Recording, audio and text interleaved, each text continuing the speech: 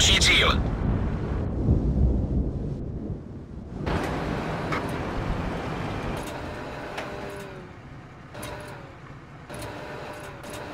Tahle prošla přímo skrz.